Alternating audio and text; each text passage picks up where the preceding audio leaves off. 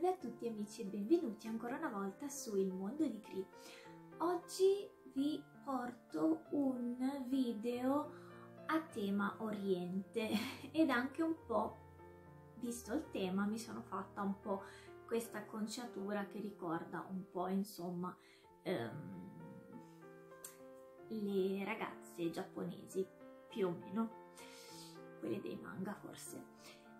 Sì, perché eh, tempo fa su Instagram vi avevo chiesto um, se avevate piacere di um, avere qualche consiglio uh, su dei libri ambientati o che parlino comunque dell'Oriente.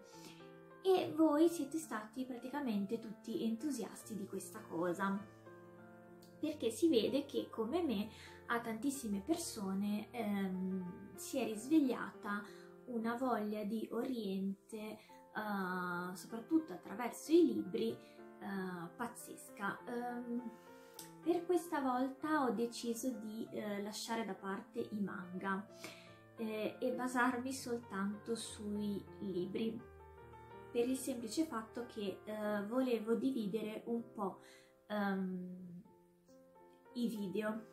Quindi magari se siete interessati eh, vi posso poi fare un video dove vi consiglio eh, qualche manga. Um, non ho letto moltissimi manga, quindi metto le mani avanti, non sono una grande esperta, ma qualcuno l'ho letto e quindi vi potrei fare un uh, video dove vi consiglio o dove um, vi dico i manga che mi sono piaciuti di più. Eh, ma adesso concentriamoci sui libri. Um, ho deciso a sto giro di portarvi tutti i libri sull'Oriente che ho letto finora, o almeno che ho letto negli ultimi anni. Um, anzi, forse dall'anno scorso a quest'anno, perché eh, appunto la mia passione per l'Oriente si è svegliata appunto più o meno un anno fa.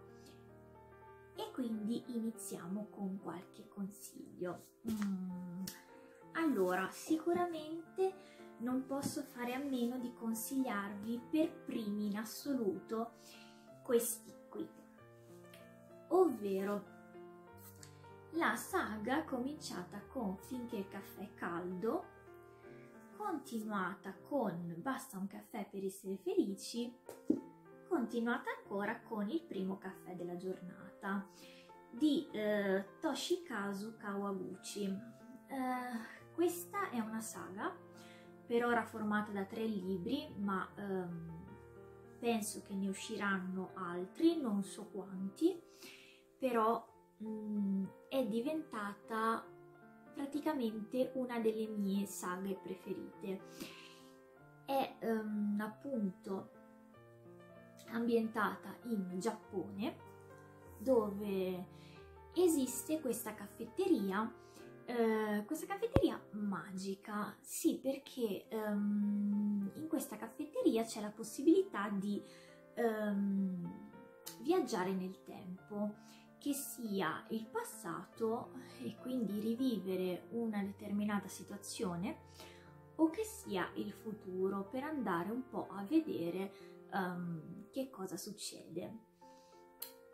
L'unica cosa è che mh, mm, si possono compiere questi viaggi, ma non si può assolutamente cambiare l'esito del, di ciò che è successo, cioè mh, mm, non si può cambiare eh, determinate scelte. Ehm, oltretutto in questa caffetteria eh, per viaggiare nel tempo ci sono anche delle regole. Bisogna aspettare che eh, il fantasma, sì perché vi è un fantasma in questa caffetteria, si alzi per andare al bagno e quindi lasci la postazione vuota perché si può viaggiare nel tempo soltanto sedendosi in quella determinata postazione.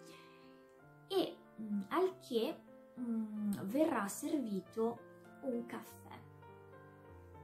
E appunto il viaggio inizia da quando viene servito il caffè fino a che appunto il caffè non viene freddo, quindi finché il caffè è caldo. bisogna assolutamente tornare indietro eh, quando prima che il caffè si raffreddi, altrimenti si finisce di eh, prendere il posto del fantasma.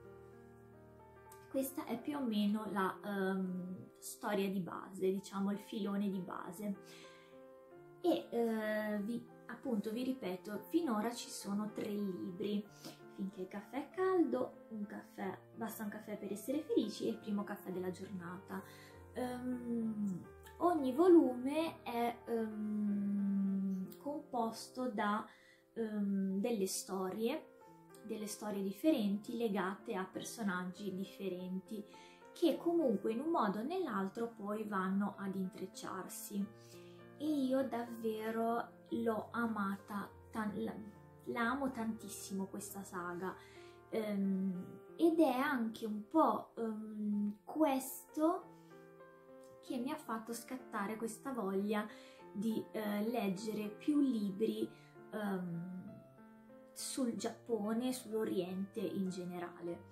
Quindi sicuramente questi eh, sono quelli che vi consiglio eh, più caldamente. Oltretutto sono anche piuttosto brevi e li potete trovare al costo di ehm, 16 euro l'uno, editi dalla Garzanti. Oltretutto sono, secondo me sono bellissime queste copertine, eh, così pastello molto molto semplici quindi questa super consigliata un'altra eh, saga che vi consiglio eh, nonostante non ho ancora letto il secondo libro ma lo farò presto è questo Le cronache dell'acero e del ciliegio questo è il primo libro La maschera del no e um, narra le vicende di Ciro, un ragazzino che viene allevato da un maestro. Solo che poi uh, terri- un terribile giorno il maestro viene assassinato e quindi Ichiro uh, parte per un viaggio, un viaggio perché non sa dove andare e anche perché um, ha una missione. Um, lui inoltre vuole anche conoscere il mondo perché finora ha sempre vissuto, diciamo, sulla montagna. Um, è ambientato nell'epoca Edo uh, e appunto narra le vicende di questo ragazzino e nel frattempo fa vedere comunque um, quella che è la società e soprattutto si um, focalizza sul teatro, sul teatro appunto giapponese, con queste maschere e conosce una ragazza, una ragazza che appunto, scusate, porta una maschera. E secondo me l'edizione è stupenda, guardate i dettagli di questo libro sono meravigliosi. Questo lo potete trovare al costo di 15,90 euro ed è edito dall'Ippocampo. E l'autore è Camille Monceau. Monse, insomma, penso che si legga così. Anche in questo caso eh, mi è piaciuto tantissimo l'ho trovato scorrevole nonostante sia abbastanza, beh no, non è proprio così grande, è il formato che è grande però ehm, non è poi così esageratamente grande. È un libro che appunto ho letto oh, piuttosto velocemente e me ne sono perdutamente innamorata. Infatti non vedo l'ora di leggere il secondo libro che sta... Ehm, ora ve lo faccio vedere un attimo già che sono qui ve lo faccio un attimo vedere questo è il secondo volume uh, quindi le cronache dell'acero del ciliegio e la spada dei Sanada. Questo è sul tema arancione è fatto in questo modo anche questo volume comunque ha i fiori insieme sono bellissimi. Ok questo è un po' più sbiadito, ma è anche un po' di tempo che ce l'ho eh, in libreria. E questo appunto lo devo ancora leggere. Non vedo l'ora perché non, non sto più nella pelle per vedere che cosa succede a Ichiro e, e spero che sia bello tanto quanto um, il primo. Oltretutto qui c'è scritto che è uh, il secondo volume di un'appassionante tetralogia ambientata nel Giappone del XVII secolo. Quindi un perfetto connubio tra romanzo storico, romanzo di formazione e romanzo d'avventura. Non vedo l'ora. Andiamo poi a scendere un po' più nel dettaglio con Storie di fantasmi del Giappone. Questo libro qua meraviglioso, illustrato da Benjamin Lacombe, che se mh, mm, conoscete sapete che um, fa delle illustrazioni piuttosto um, particolari, diciamo, piuttosto lugubri, se così si può dire, volevo farvi vedere qualche uh, illustrazione. Ecco qua. E appunto che cosa, che cosa racconta? Uh, racconta um, di um, leggende, quindi va a scavare nel folklore uh, giapponese. Perché uh, se siete appassionati come me sapete che in Giappone ci sono uh, tantissime leggende, c'è un folklore molto molto um, sentito per quanto riguarda demoni, fantasmi, spiriti, eccetera, eccetera e io sono una grande appassionata di, questi, di questo tema e quindi le due cose alla fine eh, si sono unite.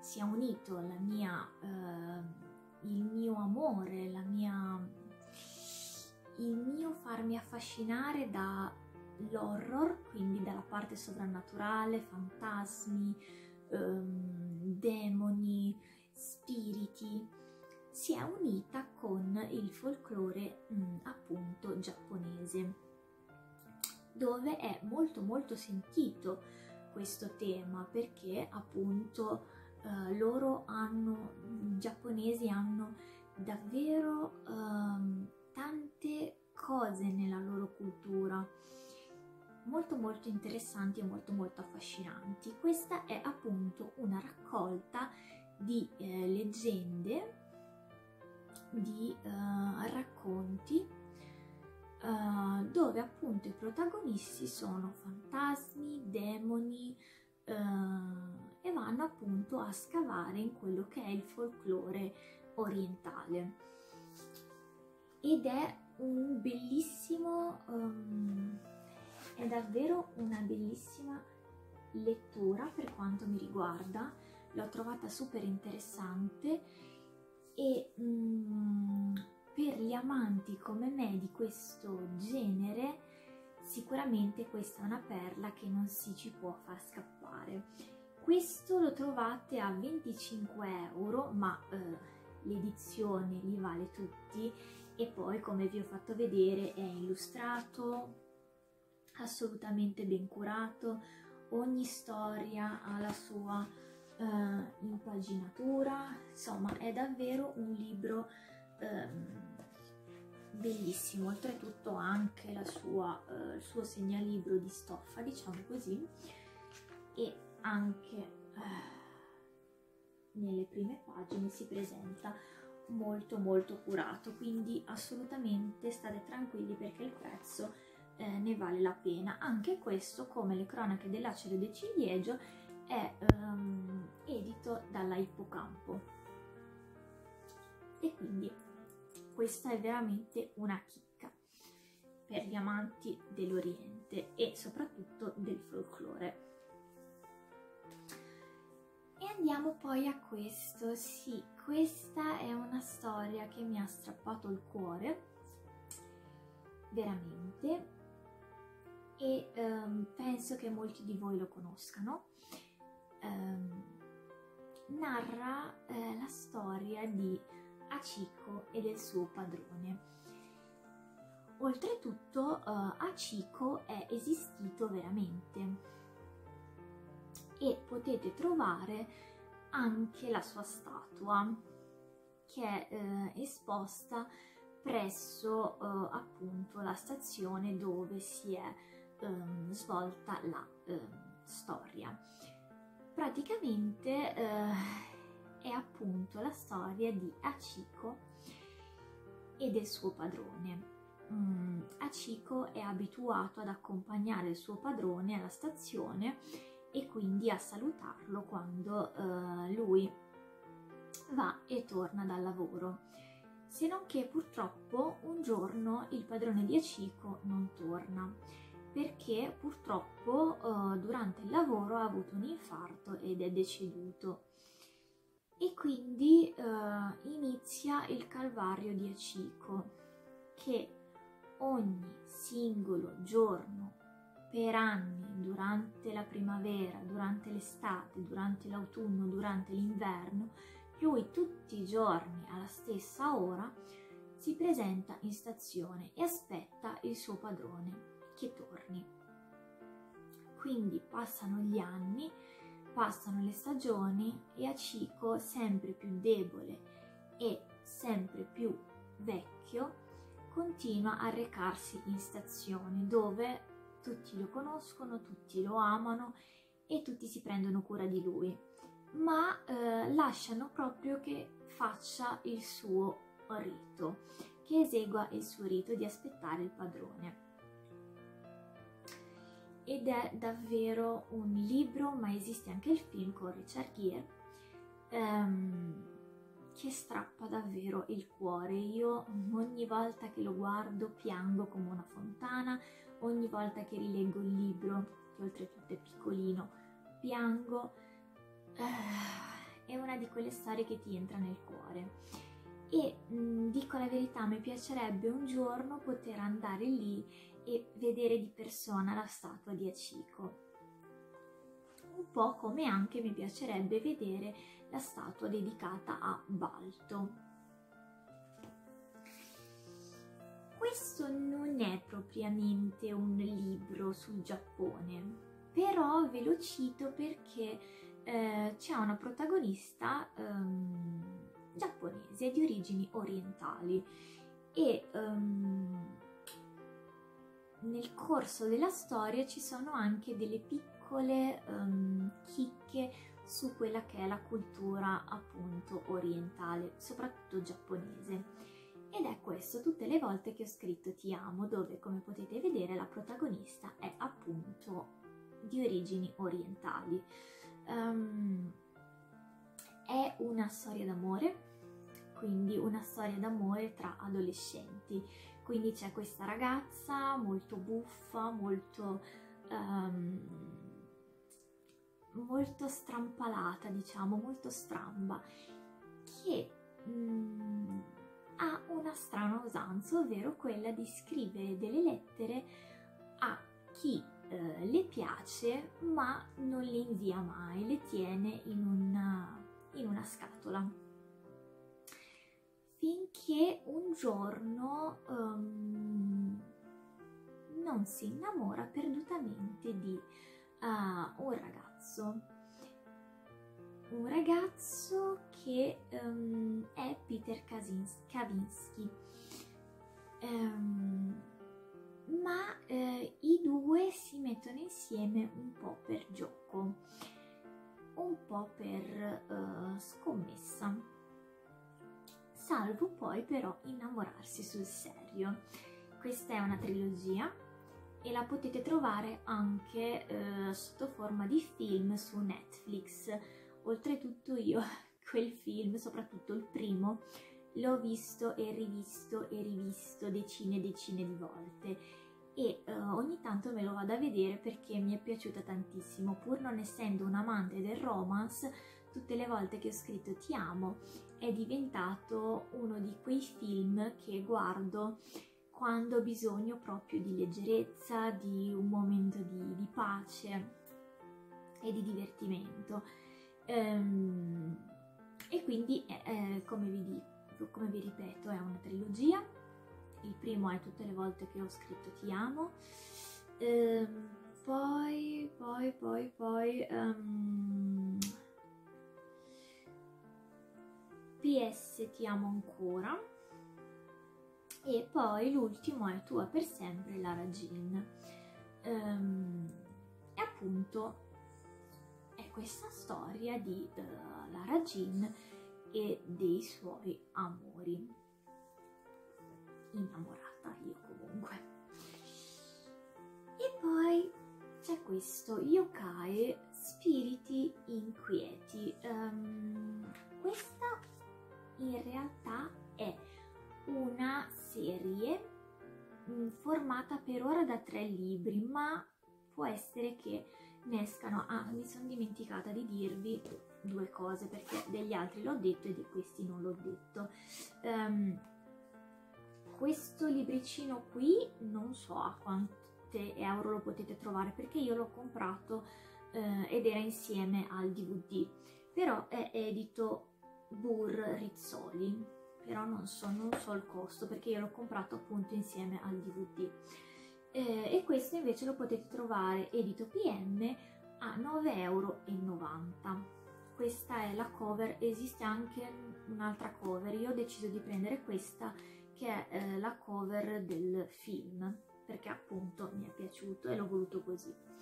Questo invece lo trovate a 14 euro ed è edito Bakemono Lab. Sì, Bakemono Lab. E, um, è una raccolta di uh, racconti, racconti piuttosto spaventosi. Um, ed è appunto qui per esempio ogni libro presenta quattro storie, quattro storie inventate inventate da autori italiani ehm, e per esempio la prima se riesco ah no ce le ho scritte qua ok. Qui c'è il giardino dei bambini storti che è un'intensa fiaba dark ispirata dalla creatura del folklore giapponese Yuki Honna la donna delle nevi. Questo racconto mi è piaciuto tantissimo. Oltretutto la donna delle nevi è una figura appunto del folklore giapponese molto molto famosa e molto molto spaventosa.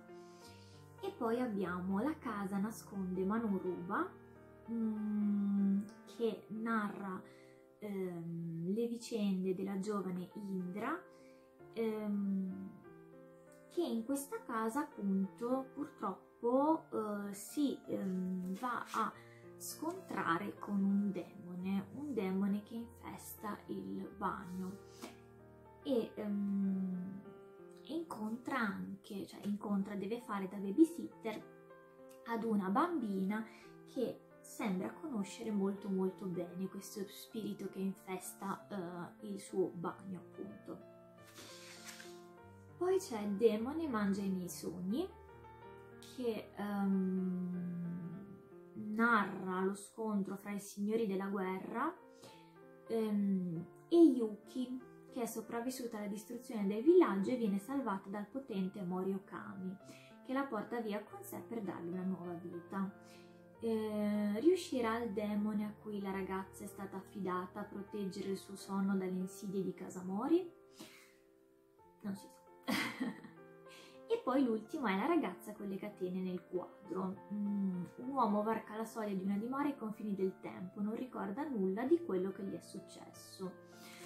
Um, è appunto una raccolta di quattro racconti um, basati sul folklore, anche in questo caso giapponese.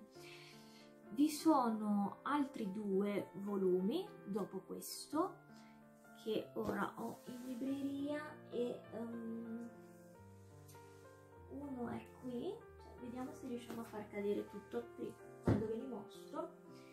Questo è il secondo, che però non ho ancora letto, Yokai La notte della volpe, anche questo ha quattro eh, racconti eh, spaventosi basati su spiriti, demoni, eccetera, eccetera. Oltretutto le cover sono meravigliose. E poi vi è anche, ce n'è ancora uno, che però non mi ricordo ora dove ho messo, ah qui, ce n'è ancora uno che è questo Yokai Anime Smarrite. Anche in questo caso vi sono quattro racconti e come potete vedere um, su ogni volume c'è um, una ragazza e um, una volpe perché le volpi appunto nel folklore eh, giapponese sono molto molto importanti. Questi due volumi qui non li ho ancora letti, però se li volete recuperare, in teoria per ora la um, saga, non so bene come chiamarla, di yokai è formata da questi tre libri e tro li trovate tutti a 14 euro editi appunto uh, Bakemono Lab. Io l'ho comprati su Amazon, quindi li potete tranquillamente trovare. Vi cito poi altri libri che non possiedo più in cartaceo, ma ve li metto eh, a fianco alla mia faccia, così potete eh, vedere le cover. Gridare amore dal centro del mondo. Uh, Gridare amore dal centro del mondo è sia un manga so che esiste eh, anche il manga, ma io eh, ho letto appunto il romanzo, il libro. E narra eh, le vicende di eh, un ragazzo e di una ragazza. Um, loro si innamorano, ma lei purtroppo um, si ammala e muore e quindi rimane il ragazzo da solo a, um, insomma, per così dire, non per così dire, a comunque disperarsi. Ed è un po' un viaggio um, nel dolore, nel...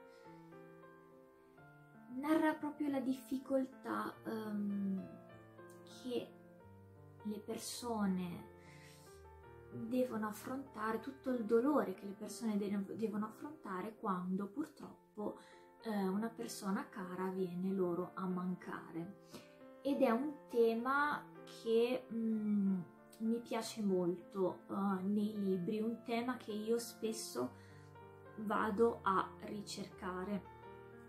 E quindi gridare al mondo, amore dal centro del mondo è sicuramente uno dei libri che eh, appunto parla di questo tema.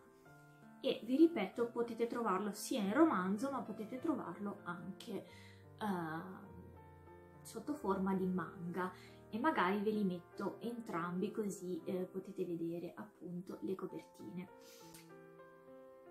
Poi c'è La donna dal kimono bianco che io ho letto in formato di... anzi ho ascoltato su Audible sì, l'ho ascoltato su Audible.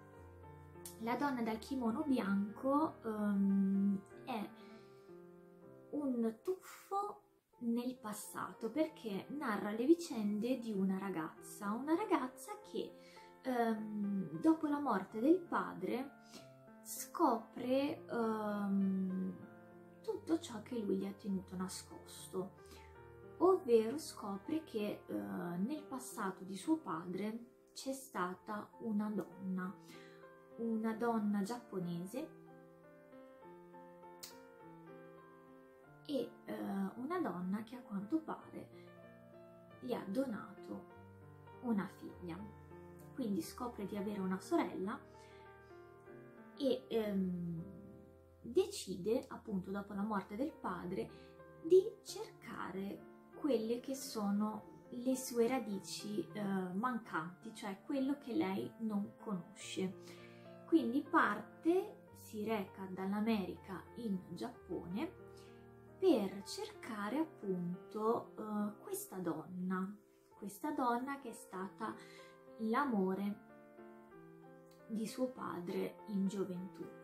e viene a scoprire tutta una serie di cose. È un libro molto molto bello, molto molto interessante che ci va anche a raccontare eh, un determinato periodo storico dove eh, le cose non erano come adesso ma molto molto più difficili uh, quindi ci racconta della discriminazione ci racconta anche di um, come uh, la cultura giapponese di un tempo fosse molto molto rigida per quanto riguarda gli stranieri perché appunto si parla di una storia d'amore fra una ragazza giapponese e un americano. Quindi sicuramente visto uh, non di buon occhio perché appunto lui è straniero lei è una ragazza giapponese uh, vi sono tutte delle regole dettate dalla, dalla cultura e quindi eh, ci narra anche della forza di una ragazza, della forza anche di un amore, di un amore vero che va contro tutto e tutti pur di eh, avere un lieto fine. Vi cito poi eh, Per le strade di Tokyo, un altro dei libri ambientati sul Giappone che mi ha fatto innamorare. Per le strade di Tokyo non è scritto da un autore giapponese, ma eh, racconta il Giappone così bene che veramente è stato, è stato un viaggio meraviglioso. Ehm, oltretutto è bellissimo, trovo che la cover sia bellissima con questi colori e questa donna di, di vista di spalle con questo gatto e ho fatto caso che comunque eh, nei romanzi ambientati in Giappone spesso in copertina vi è un gatto. In questo caso, per le strade di Tokyo, ha eh, in copertina un gatto. Un gatto perché eh, è un vero e proprio personaggio uh, di questo meraviglioso libro. Questo libro uh, è, un, è sia una raccolta di racconti su diversi personaggi, sia un libro vero e proprio, perché um, ogni um, diciamo capitolo narra la vicenda di un personaggio diverso. E in un certo punto del libro tutte queste storie vengono raccolte in un unico filone e si capisce finalmente um, anche in modo affascinante come questi personaggi vengano um, a conoscenza l'uno dell'altro.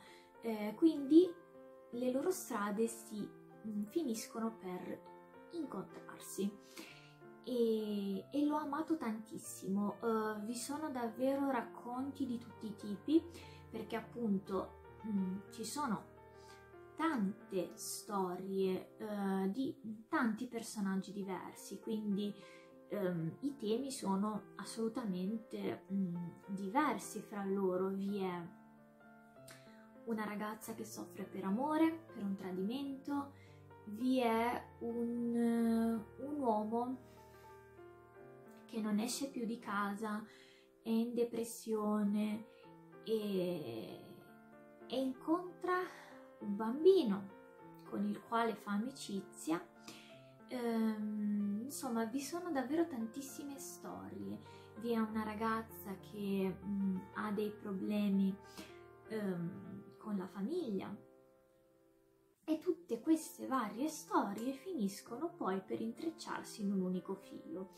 Um, è da dire che forse uh, il filo che lega un po' tutte queste storie, che um, il nodo diciamo del filo è appunto questo gatto, questo gatto, un gatto calico, per chi non lo sapesse come me, eh, io non lo sapevo prima di leggere questo libro, i gatti calico sono quelli che hanno uh, tre colori. quindi bianco, nero, marrone. Questa tipologia di gatto viene appunto chiamata calico e eh, questo gatto appunto finisce per um, far incontrare tutti i personaggi l'uno con l'altro.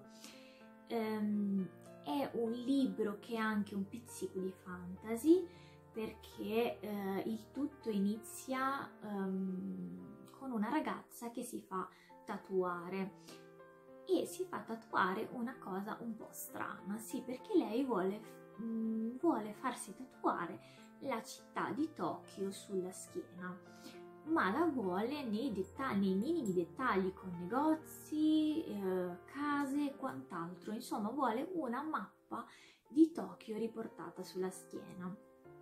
Quindi va da questo tatuatore e il tatuatore di seduta in seduta um, si accorge, visto che ha deciso di, senza dire niente alla, alla, alla ragazza, ha deciso di disegnare un piccolo gatto calico um, per le strade di Tokyo, salvo poi accorgersi da una seduta all'altra che questo gatto in realtà um, vive di vita propria perché si sposta ed è quindi un'avventura alla continua ricerca di questo gatto che si sposta ehm, per tutto il tatuaggio, diciamo.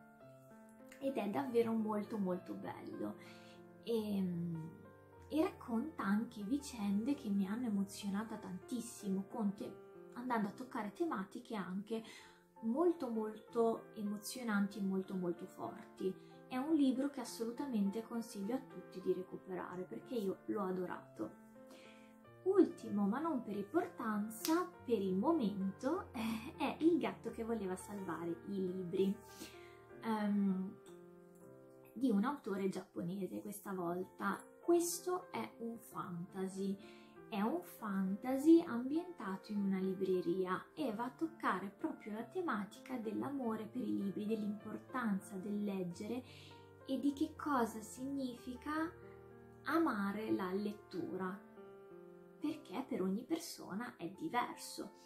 Però chi arriva veramente ad amare, ad avere l'esigenza di eh, tuffarsi tra le pagine di un libro, eh, insomma, è un tema che davvero accomuna tantissimi noi, di noi lettori.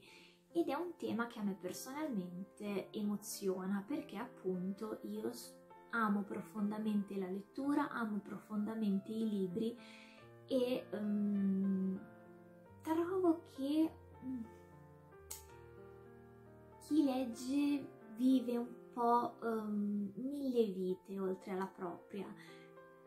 Ha la possibilità di viaggiare con la fantasia e, e la lettura è importante anche a volte per,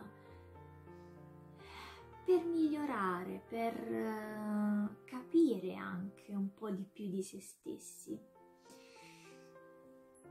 E questo libro parla un po' di questo, uh, parla di questo tramite appunto una trama uh, fantasy dove uh, il protagonista subisce un lutto, un lutto che lo segna tantissimo perché appunto il protagonista è un ragazzino, un ragazzino che si ritrova a um, dover um, chiudere la libreria del nonno, che purtroppo è venuto a mancare.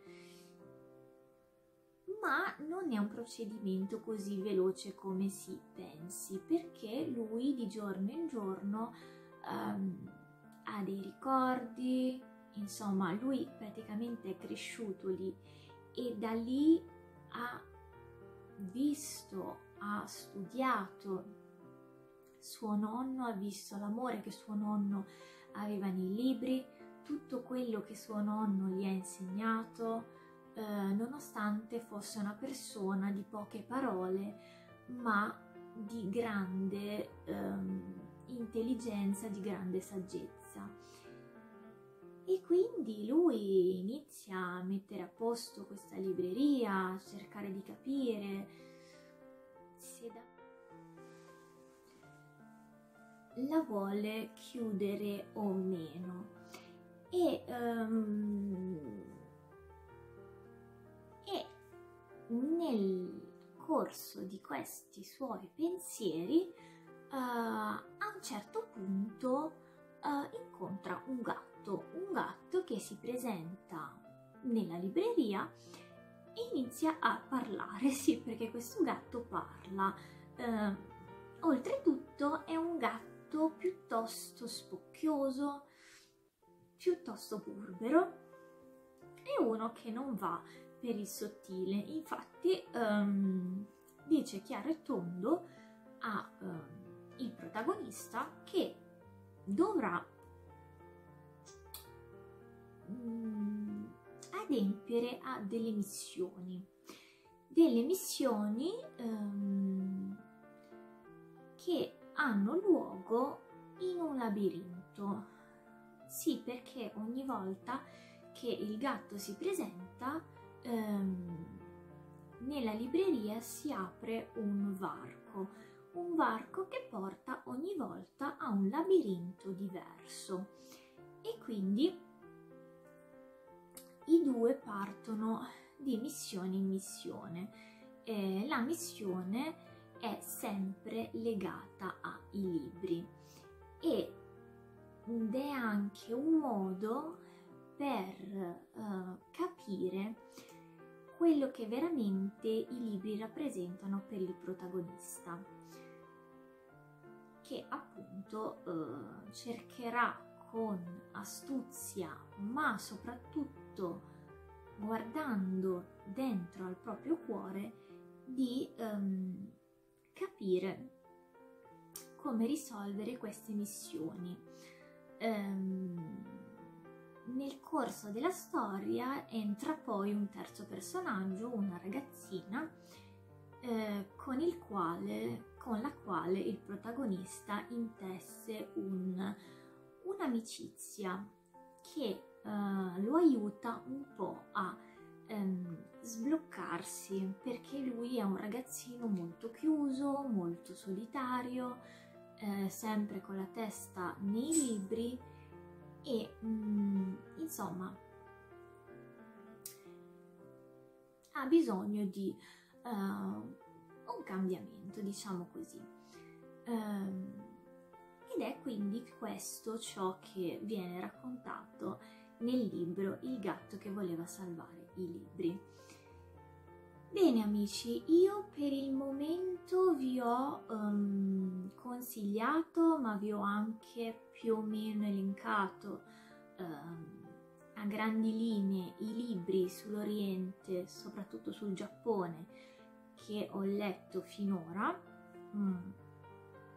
Ce ne saranno sicuramente altri in futuro perché eh, sto cercando di leggerne almeno uno al mese perché ho scoperto che ci sono davvero tantissimi libri ambientati in Giappone o che parlano appunto di, della cultura giapponese e mh, mm, io ne sono follemente innamorata per cui ne cerco in continuazione e, e quindi voglio assolutamente leggerne almeno uno al mese per cui presto, più o meno presto diciamo così, potrei eh, tornare a fare un video di questo genere dove vi faccio vedere altri libri con questo tema.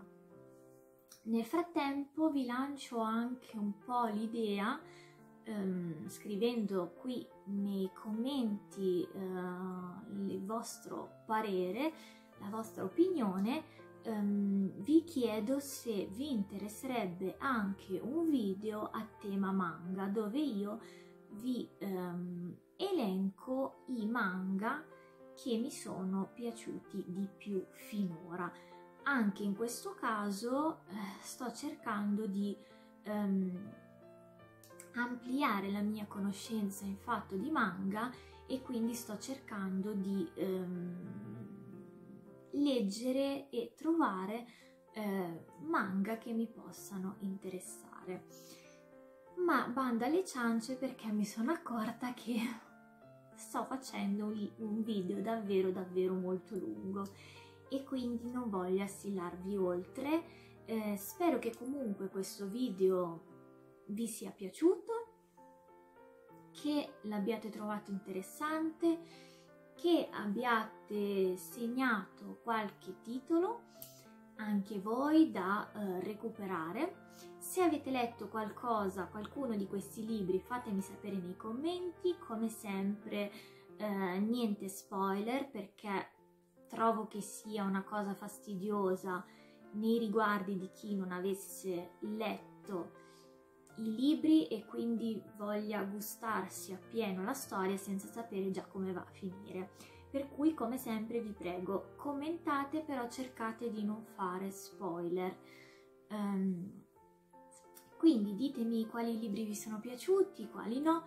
Se avete dei mm, libri, dei titoli da consigliarmi che abbiano questa, mm, che mm, insomma eh, rappresentino questa tipologia di libri, scrivete pure perché io sono assolutamente sempre in cerca di letture interessanti appunto sull'Oriente, sul Giappone, sui, sui spiriti, sul folklore, eh, ma anche semplice letteratura eh, ambientata appunto in Giappone, che mi racconti qualcosa eh, in aggiunta, qualcosa da scoprire di nuovo su questa meravigliosa terra. Con questo è tutto, come sempre vi invito a mettere un pollicino in su se il video vi è piaciuto e se volete iscrivetevi al canale per rimanere aggiornati su ogni mio nuovo video. Io ora vi saluto e come sempre vi auguro una valanga di bellissime letture. Ciao amici, a presto!